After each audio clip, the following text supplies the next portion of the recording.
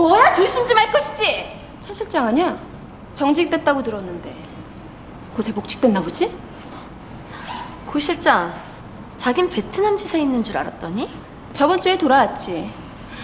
와서 보니까 회사에 재밌는 얘기가 많더라. 차 실장 유부남 부하 직원 꼬시다가 까였다며? 그 직원은 죽고 지금은 그 와이프가 같은 팀에 있다던데. 진짜 웬일이니? 그거 다 헛소문이거든? 그렇겠지. 참, 아버님은 잘 계시지? 고 이사님, 뇌물수수만 아니었어도 본사에서 한 자리 하셨을 뿐인데 말이야.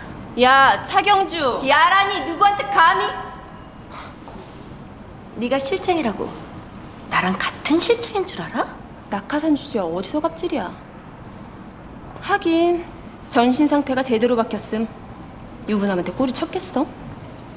괜히 실장이라고 일버리지 말고 조용히 정신이나 수양해라 야, 너 이게 안 와?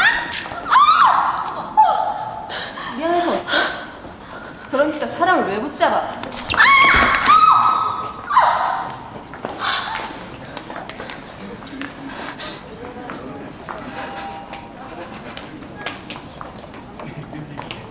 괜찮아요?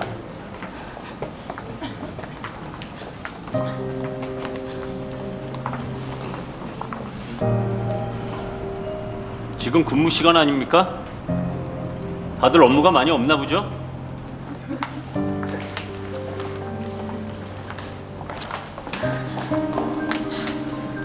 고마워요.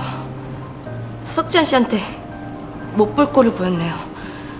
사람들은 남의 얘기를 쉽게 하고 쉽게 잊어버리죠. 그렇게 생각하면 마음이 좀 편해질 거예요.